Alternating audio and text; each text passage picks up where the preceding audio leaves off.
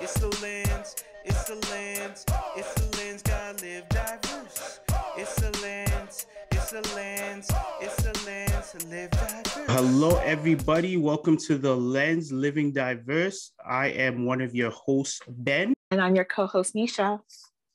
And we have a special episode today. So, today we're going to be talking about media, and we have a wonderful special guest, someone I know quite well. That's she is my colleague all the way in Winnipeg, and she has the same role I do. So, everybody, Vivi, not Vivi, Vivi.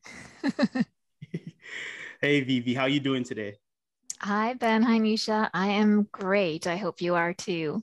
Oh, thank you. We're so excited to have you on today's episode about media. It's uh, definitely it's definitely a fun topic, especially incorporating sight loss and uh, different identities such as race and uh, culture. So, Vivi, if you could tell uh, the listeners a little bit about yourself. Sure. I am the advocacy and community outreach program lead for the CNIB Manitoba division. I live and work and play in Winnipeg, Manitoba, and my area of advocacy is the entire province. So, Winnipeg, Brandon, and the northern and southern parts of Manitoba. So, that's my professional role at CNIB. But when I'm not working on advocacy, which I love and which I'm passionate about, I am a playwright, I am a poet, I'm a performer, I'm a classically trained vocalist. Uh, I love all things artistic and art related, and I try to fill my cup and fulfill my passions creatively. Look at you. Oh my gosh, just a creative volcano. wow. So definitely we're gonna we're gonna get a good episode going on. So yeah, like you were making, and I know we talked about this in the past. You were making mention that you you do some work with views, and that's a consultation for what exactly? Yes, that's right. So, in addition to my advocacy and my own creative work, I am the audio description consultant for VIEW, which stands for Vocal Image Ensemble Winnipeg. And what they are is a team of audio describers who are sighted. And it's a division of Sick and Twisted Theater Company, which is a theater company that has an emphasis on producing and staging works of theater that are centered on or focused on or involve actors and performers and stories including people with disabilities. So mm. the VIEW team with whom I work, as I said, are a team of audio describers, and they create scripts for stage productions, which are produced by Sick and Twisted or by other theater companies in and around the city and province. And my role with them is to go through the performance and help modify or adapt or improve the audio descriptive script that they've produced so that we can make theater accessible to people with sight loss, which mm. I'm very mm. passionate about. And I think it's a very important endeavor to be involved with. So, this is new to Winnipeg. There is an existing theater company in BC called VocalEye who trained our audio mm-hmm. describers. So there's been a lot of mentorship and stewardship involved there. And we're just really excited to have this launch and um, be a part of the theater and art scene in our city and province. That is so exciting. Hey, it makes me want to go out to the theater and then check it out. That's awesome. Mm-hmm. Yeah, it even with yourself, Neisha, like how do you feel about like just the theater? Do you go to a nice little matinee or have you been any theatrical? You know what? I I sight loss is fairly new to me. So um, before the pandemic and before I lost my sight, I did go to plays and actually, you know, I loved them. And just before the pandemic started, I had tickets to go see Hamilton mm. in here mm. in Toronto, and um, we had asked the um, the theater if there was an audio describer that would that would be there to help us, you know, navigate the play because there's a lot that happens in Hamilton, a lot yes. visually that happens mm. in that play. Mm-hmm. And they said to me, like, well, you could bring somebody in if you want. And I'm thinking, well, that would cost more money for me. You know, I, I shouldn't have to pay for something out of pocket to help me understand or, or, or view the play um, the way everyone else does, like experience it the same way. So I thought that was uh, that was really unfair. Uh, but then the pandemic happened and, and, the show was canceled. So I'm thinking of trying it again because I know the, the play is coming back and there are others I want to see. And I, I want to advocate more and say, you know what, this is something that should be provided. It should be an accommodation made by the theater and not by me as the attendee. So absolutely. And to your point, Neisha, the thing is about bringing an escort, that's great. And some theaters will offer a concession for that. But the thing is, the escort or guest you may bring isn't trained. Mm-hmm. And mm-hmm. audio description, as we know, for anyone who watches TV and uses the audio description feature, it's an art. Like yeah. it does require special training and it's a craft and there is a technique to it. So your well meaning friend, family, guest may do the best they can, but they are also involved in the theatrical performance too. And oftentimes, mm-hmm. um, I don't know if you've had this experience, I have. Uh, they get swept away in the performance and they get yeah. caught up and they forget they're supposed to sort of be translating information to you and you're like what happened what happened yeah. and then and then the moment happens and then they've got to kind of take themselves out of the experience explain to you and then other things have gone on you know and the story has moved on and now there's a little bit of a time lapse and a gap because of that disconnect. So the audio mm. describer, I think, is a really important role and should be an accommodation because they are trained and they are there to be present to facilitate the mm. experience of the person with sight loss to have the same enjoyment as any other audience member would have. Yeah. Yep. Very mm-hmm. true. Very true. And really good points. And Neisha, when you go to Hamilton, I can't wait to uh to go with you, you know, because I'm a man of the arts. I would so say so really. So even just uh, all this talk about like descriptiveness and descriptive uh, video, and I'm gonna cycle this between the theater as well as uh, TV as well as movies. So I know it's a, a huge discussion on how much should be described, and us coming from uh, the sight loss community and especially knowing of uh, both of you folks where you uh, had vision where vision uh, progressively uh, I don't want to say got worse, but uh, deteriorated. Yeah, yeah, so, I, am comfortable with decline. that. Yeah. There, there we go. Mm-hmm. There we go. Yeah. So I'm wondering, even coming from, uh, I guess, an intersectional background with like race and uh, different intersects, do you think it's too much to describe like a person's appearance while in theater or on TV or in a movie. So I'm going to throw that to you, Vivi, and then uh, Neisha, let me know what you think. Okay. Well, I do think it's a matter of preference. And as a person who was partially sighted and now lives with sight loss, I really appreciate that. And actually, this is a discussion that I've had with some of the VIEW team that I work with. They've asked me, you know, is this too much?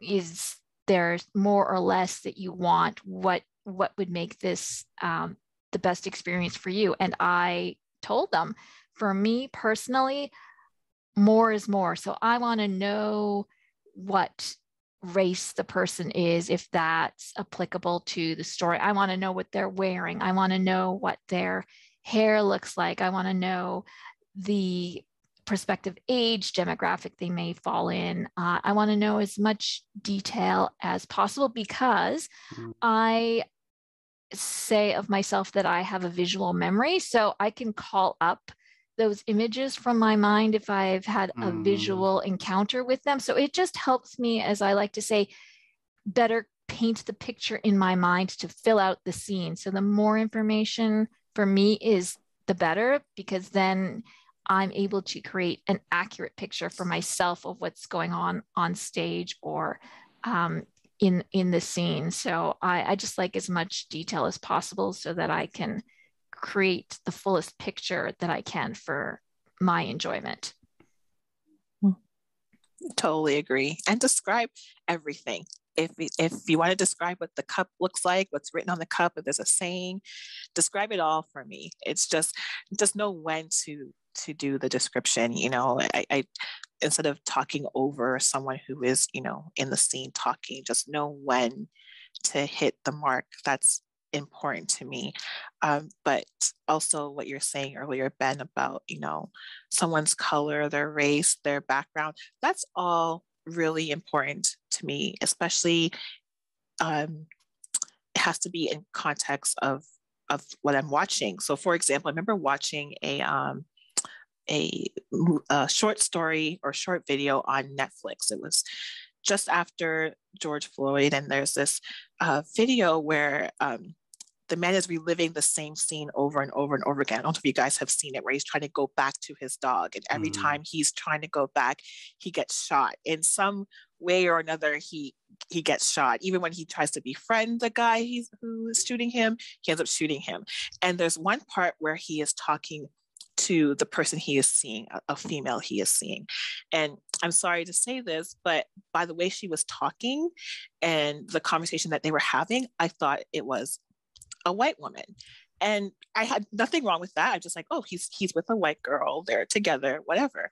But then halfway through the movie, the audio describer mentions that she's black. And at that mm. same moment that she mentions that she's black, the woman's accent actually changed. She started using um, Ebonics, mm. what Americans use. At that same moment, I was like, oh, wait, why now? Like, why now are you telling me that she's a black woman halfway through the movie? And why at this moment, when her voice is changing, are you also telling me this? Like, I wish I had known that from the start. I, rather than halfway through. So definitely agree with you, Vivi, that you know knowing someone's racial background, even if there's someone who is of you know Indian descent and they're may- maybe wearing a hijab or a turban on their head, that to me is important. I want to get those cues. I want to know who this person is, their background, and, and things of that nature. It just helps me put the story together and put the visuals together in my mind as well. Mm. Exactly. And just the way you said it, Neisha, like these are all the visual things that someone would be able to assess so easily just by sight. So mm-hmm. we should have access to that information as well. So the description is just filling in what the visual would be doing already. Yeah. So, and I agree with you. Timing is everything, and uh, yeah, that's what the the VIEW team works hard on, and uh, the other audio description team um, you know from bc that i've seen some of their productions they work on as well is to strategically place the description so that it doesn't detract from the performance or the um, you know the the action that's going on on screen or on stage mm-hmm. mm-hmm. and mm-hmm. very good points and just out of curiosity neisha when you were saying that the characters uh accent change or the way they spoke change was that part of the storyline at all? No, it's just what happened was That's she she ended up using the N word in oh, the movie. Oh boy. And then I was like, okay, not anyone can use that word. Yeah, I was gonna say that's a whole other conversation yeah. for Lens. That's a, yeah. that's a whole other podcast. No, no doubt. Yeah. No, that that I don't know. That just kind of took me for a loop because once the it's almost like they're recovering for anybody who has sight loss to be like, no, no, she's black. Don't worry, don't worry. don't yeah, yeah, yeah. Like, don't get mad, don't get mad. She's black. Yeah. So, yeah. Yeah. Uh, even with that uh, perspective, and I guess I'm going to apply this for theater and TV and movies. To be honest, I I'm going to say even if it doesn't have to do with the storyline, I kind of still want to know the race of the person. Mm-hmm. And mm-hmm. I say this because I remember being told a story um, when I at the school I used to work uh, at.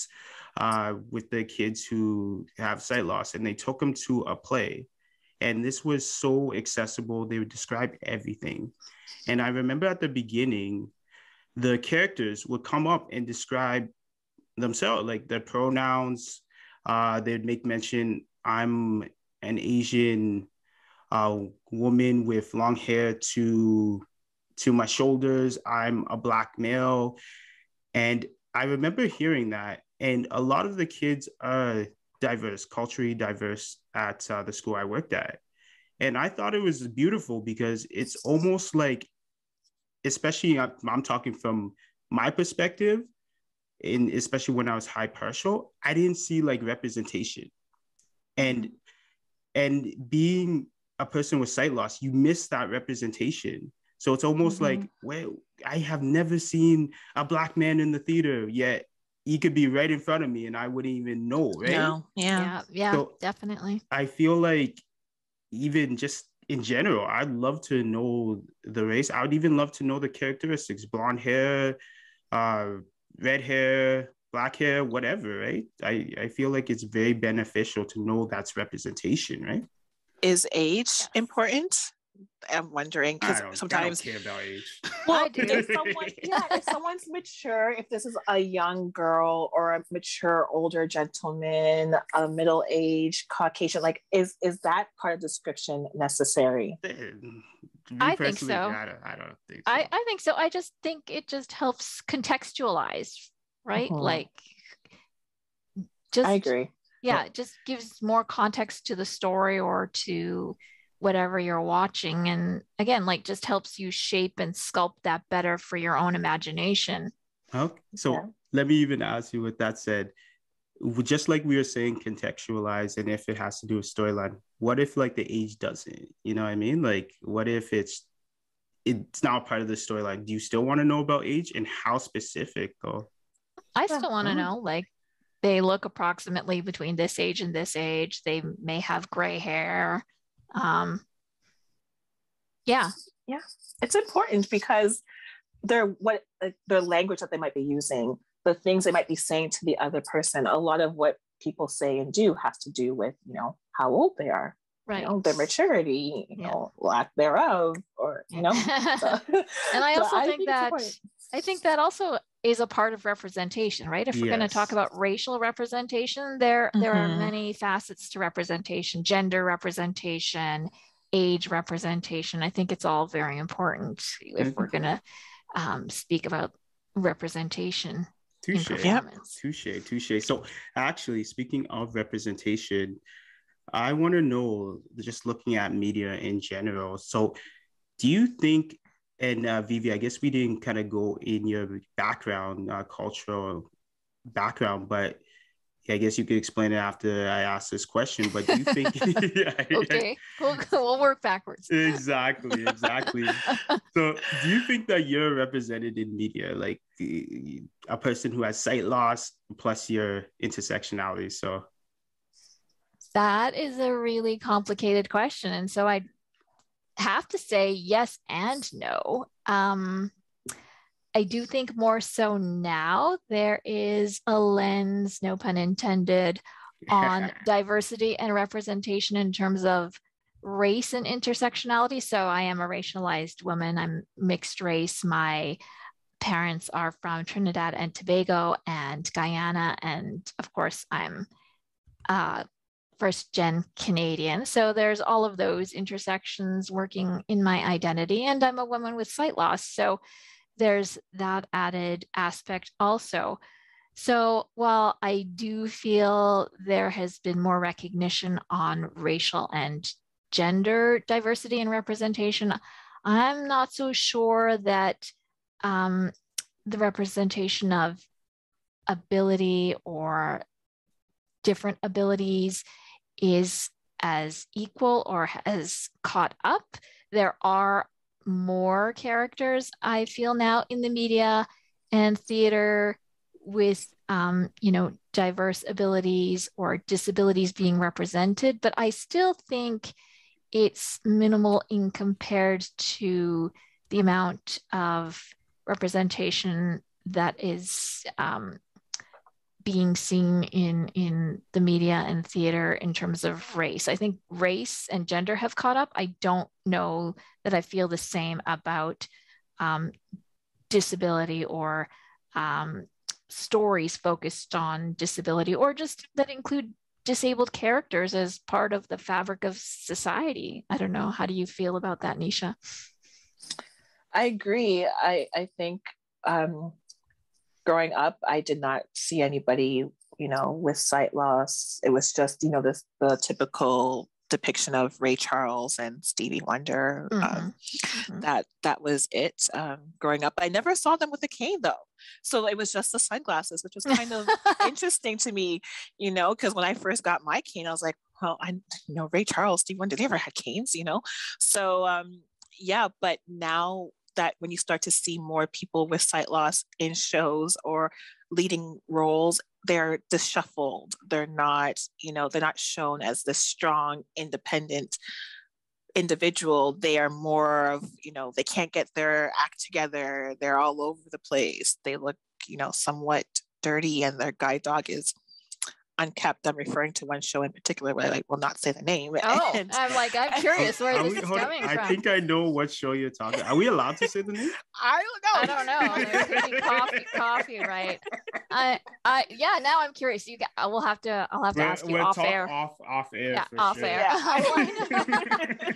I mean, and I know like there's a show, and again, I'm not sure if we're allowed to say the name, and I don't watch this show not not because of you know their depiction of blindness it's just not a show that appeals to me that they do have a main character who i do believe has sight loss and i do believe the actor is a person with sight loss so i mean that's I, another I, obstacle that I we've negotiated like if we're thinking the same show the actor doesn't have sight loss probably oh, no? we're thinking okay. another show yeah okay yeah, so yeah. I, don't watch, I don't watch the show so i, sh- I could be misspeaking but okay so there's a show that i'm thinking of and yes. the, one of the main characters has sight loss. And I was going to say, if the actor has sight loss, then that's a step that we've negotiated in that, you know, people with disabilities uh, in performance are now being played by people with disabilities in real life which is is a good thing. It's a step forward. But if that's not the case in regards to the show then then i take it all back.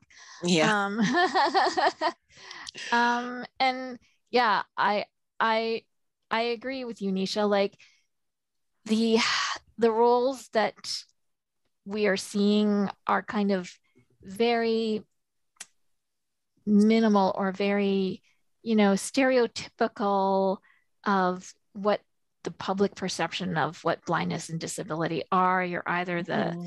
you know the innocent or the inspirer or the you know the the model of uh, of goodness. And i you know i want to see i want to see a blind or disabled person who's like a villain or uh, mm. you know who's uh, a femme fatale or you know maybe has the same kind of hypersexuality as a leading man or a leading woman. So mm. those those are the roles that i'm interested in. And because they do exist in our society so why can't they be depicted on screen? Yeah yeah and that's a very good point, and it almost makes me wonder because I was thinking about this the other day. I do I I try and research before our uh, uh meeting, you know, before our podcast. Try watch some TV, look up some things. And do you think because it is the media, it has to be one dimensional? So things have to be exaggerated. So when you have a character who I don't know, is uh, I don't know, a truck driver. They have to exaggerate that character because it's easy for the the viewers to take in. So when you start veering towards, okay, we just like you said, a femme fatale who has sight loss, it almost confuses the the viewers. Um, I I I think that that you know argument maybe doesn't give the audience enough credit uh mm. you know when mm. i write i assume my audience is sophisticated and intelligent and um you know well aware or woke of you know what what's mm-hmm. going on in the world so i think um i don't know that the media has to do that but i think in many cases they choose to do that because then it, you know, as you're saying, perhaps makes the character more relatable, more identifiable if you can um, create someone with these common characteristics then yes of course they they're more relatable and and maybe there's a little bit of deconstruction there and there's less to navigate but why not eh, eh, why not give our audience the credit that they are elevated um, you know thinking people who want to engage in a performance or a show and create complicated characters mm-hmm. because everybody is complicated so mm-hmm. why not why not if life reflects art why not you know present that that that we are all complicated and uh, we have many facets to us and we're not two-dimensional people um, you know there's lots going on at any given day and time those are the shows I gravitate towards, are the ones where you still see an individual or individuals who are complicated, but yet they're real. They can yes. be the person who's next door, you Complex. know, your neighbor, right? Like it still it still makes sense to the world that we are living in. So um, yeah, that's the work of the creator, right? It's a delicate mm-hmm. balance to to um, have those two things exist in a in a character that you create. Yeah, and I totally agree with both of you. And that's even a form of advocacy, right? Because when you start seeing these complex characters who sight loss is just one of their identities, right? Like mm-hmm. I always, for some reason, I always picture the show and and Vivi, maybe you could help me write this since you're you're a writer. Maybe, maybe, maybe I could leave this advocacy gig and become a writer. You know, you can do both, and uh, exactly become an actor. Yeah, don't but, quit your day job. But the lovely thing, like I want to see, is almost like a group of friends, and everybody's just a group of friends, and they have that one person with like sight loss, right? Mm-hmm. And they have their own personality. It's not like the the sight loss is their character. You know what I mean? Yes, exactly. Yeah, it's not their defining trait. It's just uh, a part of who they are, like their hair color or their eye color or the style of clothes they wear. Yeah, exactly. Like, it could be that friend, Ben. I could be that friend. that friend that show. no one likes. You know what I oh mean? My gosh. Oh my gosh. Just, just like you were saying, Vivi, I want to be the villain. I always in a TV show, it just be like just be the bad guy. But I'm even wondering, with that said, do you think that it would be some blind folks being like, why is the blind guy the villain? You know what I mean? Oh, absolutely. There's always yeah. going to be resistance on either side, right? Like, mm-hmm. for sure. Like, why, you know, why would they make the blind person the villain or the disabled person, you know, the, uh, the evil character? But I mean, that that's a reality. Not everybody is wholesome and good. And I think um, a lot of characters have been developed on that premise that you know the disabled person oh they're they're pure and innocent and good they wouldn't do you know xyz they wouldn't commit a crime they wouldn't have an affair they wouldn't you know murder i mean but if we're going back to the argument that blindness is a characteristic then blindness has nothing to do with you know uh anyone's motivations or um you know desires to uh, accomplish their ambitions. So it's just uh, another facet of who they are. More power to you. You know, I it's everything that Vivi said is is so true. I mean, just because we can't see doesn't mean we can't shoot somebody. You know, like that's what people naturally think is, oh, you can't see to do those things. Oh, you yeah. can't see to to be a villain and to be evil. How are you gonna know who you're targeting. Like all these things go through people's mind as to why someone with sight loss can't do something.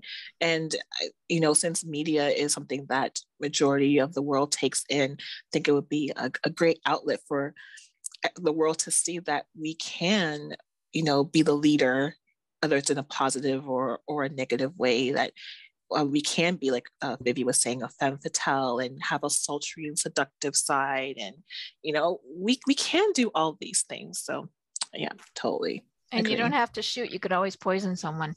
there you go. Not giving anybody ideas. no, hey, and if you want to incorporate that blindness uh, part of it, you know, just use your cane as uh, nunchucks, you know? Oh, oh exactly. like, can we name drop? Yeah. Can we name drop Daredevil? Not, yeah, you know, they, like. no, and know what? Since we we don't have any sponsors, we're gonna not lose our sponsors anyway. So okay. you know, you know. So actually, speaking of um, talking about characters that show representation, is there any characters out there that you've both witnessed? Because to be honest, I barely, I don't watch TV that much. Like my, still my new show is my wife and kids. Like oh that's, that's the newest show to me. Oh wow, like, that's, that's that's sold. Every, everybody's talking about like all these Netflix shows, and I always start them late. Like yeah, I always start everything late. So is there any shows that you you really could identify with or even movies or even theatricals, right?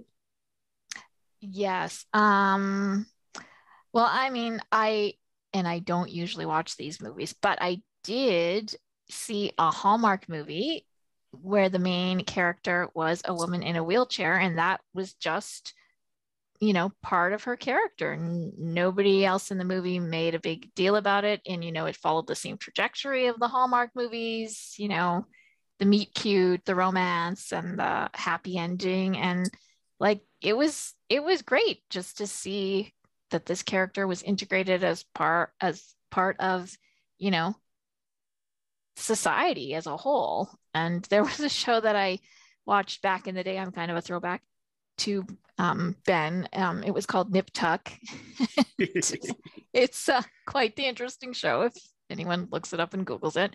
And they, I was so excited because they had a blind character on there. And not only was she a blind character, she ended up dating one of the lead characters. So this was like, you know, a serious storyline. And I, I felt like validated and vindicated that, you know, that we've got a main character and she's got a romantic role on this show. And then they had like one scene where they were together and I can't remember whose house they were at. Maybe they were at his house or something like that. And like she had to had to she had to um you know get up in the middle of the night and use the facilities and apparently like she mistook the closet for the bathroom. And then I was like, oh, like so disappointed. I'm like, mm. no, no, no, no. Obviously, you didn't consult with a blind person.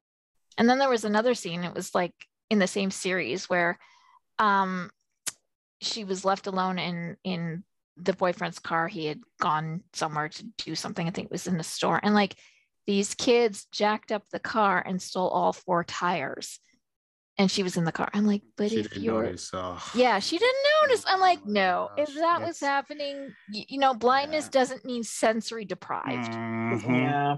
Mm-hmm. So, I mean, those those are my uh, encounters with characters in in the media in terms of blindness. I haven't really, honestly, I haven't really seen that many, and that's why creators have to go out and create these roles and write these roles and you know put put ourselves in these storylines because um, you know otherwise we're going to leave it up to people who have no awareness of the lived experience to create these stories and they may not be accurate or true mm-hmm. exactly and then i'm going to throw it to you neisha and then i'm going to uh yeah that's the final question the final comments well for me um this might sound weird, but there's a show on YouTube, not sorry, on Netflix called You. Um, in the latest season, there is a um, black male who is gay, and he he has a white cane. And mm. the great thing about it is, it's like it's it's just a part of him. They never make reference to that he has sight loss. It's just when you're describing him at the very beginning, when you're first seeing him on the show, they make reference to him so that way people know, like people like me who can't see, mm-hmm. that there's a guy here with a cane. But the way he's integrated into the show is just regular person. He has regular fun conversations and regular banter and joking uh, uh, conversations with people uh, on the show. It's just he's just a regular person, you know, which is great. I love it that, you know, there's no, oh, poor him, he's blind, or he can't do this because he's blind. He works in the library, it, he helps out, full time job, he does his work, he, he's at other events. It's just a great representation to see someone in the community who's just included. We always talk about inclusion, and mm-hmm. this is to me so far. I haven't watched the whole season, so hopefully he doesn't do anything wrong. but if he does, that's good, Neisha, right? Okay. Like exactly. he's, human. He's, he's allowed he's to human. do something wrong, yeah. you know? Yeah. yeah. Um, but he's he's included in the show. And another one that I I liked, it was just in a one episode, it was Grey's Anatomy, where one of the characters um she lost her sight due to I think they had she had brain surgery and something happened where over time after the surgery started losing her sight. And instead of it being like a pity party, this woman, she went on to travel the world and have all these wild adventures. And mm. she's even kind of a little promiscuous and, you know, hooking up with people and just having a wild and and fun time. And to me, that was it was empowering because a lot of people think when you lose your sight why are you going to travel for? You can't see anything. You can't mm-hmm. you can't travel alone. You can't do anything. Mm-hmm. but here's this woman who's doing all these wonderful things and you know having great love affairs as she's going along. So some people might not like that but i thought it was pretty cool. I was like more power to you girl. And yeah i, I love grey's anatomy. What episode was that? I totally don't remember that at all. Oh that was a few years ago um, I'll have to look it up. It was okay. like 20 seasons, so it might take me a while to find it for you. That's but, fine. Um... That's fine. no, no, it's a it's a beautiful thing, living her best life, and mm-hmm. just just in general, I'm so glad that you there is some representation, and I feel what you were saying, Neisha, about that show. You that that's a big step because that's not just one into that's not one identity. It's not just black and uh, with sight loss, but throw in the identity of uh, being part of the LGBTQ community as well. So that's that's huge. That's mm-hmm. awesome. Mm-hmm. And for any listeners, if you're listening and if you have uh, shows that you know of, definitely let us know. I know for myself, it was a cartoon. I have no idea what it's called. Uh, I don't know. I think the character's named Coco or something. I can't remember. I'm probably the worst person to ask right now. but it was a character out of Kane and it was a cartoon. And that's that's awesome. Like oh, I wow. Yeah, that's that's a breakthrough. And yes, I wish to one day be animated, you know, be like Fat Albert. Um, even though I'm not uh, like Fat Albert, but still it'd be like Ben and Friends, you know? lo- oh, that's great. We should yeah. do that. I, I want to be a Disney princess. Yeah, yeah. I I want to know I'll be your villain. Okay, Ben and Friends. Um. I love it. All right, so Noah, we are ready out of time. So even any just last comments about uh, this this topic from any one of you? Um, I'll go 1st uh-huh. Um, something that I would like to highlight is with audio description with TVs and movies and plays and what have you. It would be nice if those who are describing the audio description are different people of color, mm. Black, Asian, mm. uh, Middle Eastern, what have you, because those little nuances sometimes in the show where people might roll their eyes or you know mm-hmm. snap their fingers and things like that i would like to know because it just it highlights the culture of not just a person but of the show that I'm that I'm watching, uh, you know, certain certain uh, you know cultures they do different things, you know, with their hands, with their necks, just different nuances that I would like to see highlighted. And I think if the person describing the the show was of the same background of the of the actors, that would really help in getting a lot of um, different aspects of the show across as well when when describing. Yeah, I totally agree with what Neisha said. And uh, I think, yeah, the arts can be a form of advocacy. So if we want representation, we need to be creating the stories that we want to see. So don't be afraid to create those stories and work at getting them promoted and produced and presented because that's one way we can definitely make change and change the narrative is if we control it. Mm-hmm. Preach, preach. And honestly, I agree 100% with all of you. And I, I just hope moving forward, exactly what we were having a conversation, just more diversity, more intersectionalities, more complexities, and more Ben on your TV because no one, my, oh, my, my show's gonna be coming out. Don't ben worry. and friends. I and love it. I want to do this. I want to do this. be a writer, so we. okay, we need an animator. Shout out to anyone out there who wants to work on this project with us. Exactly. Hit, hit Ben up because I'm not on social. So. exactly. So, Vivi, now Vivi, Vivi. That's right. Yes. Thank you so very much for coming on to this episode. And honestly, we want you back. Please come back. I would episode. love to. This has just been such fun. Thank you guys so much. Anytime. I'm working on my second place. So oh, that is awesome. Well, check that out, everybody, for sure. So and therefore very good point. And Vivi, any last comments for you? Thank you for listening to the Lens Living Diverse. I was one of your hosts. Ben. And I'm your other co host, Neisha. Peace. Bye. Thank you for listening to The Lens a Living Diverse. If you like today's podcast, please press subscribe so you could get notifications on any new episodes. Also, if you like the conversation of diversity and inclusion and intersectionality, please visit our diversity and inclusion page on the CNIB. The link will be provided in the show notes.